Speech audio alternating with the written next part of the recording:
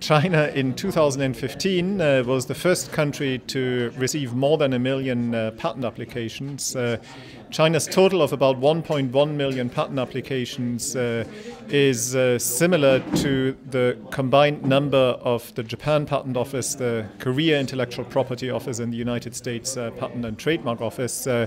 Growth in China in 2015 was 18.7% on 2014. So we are seeing continued rapid growth of patent filings in China. We see, uh, you know, uh, the fruits of continued uh, investments uh, in uh, technology um, reflected uh, in these patent filing numbers. I think it's a continued movement from made in China towards innovate, innovated in China.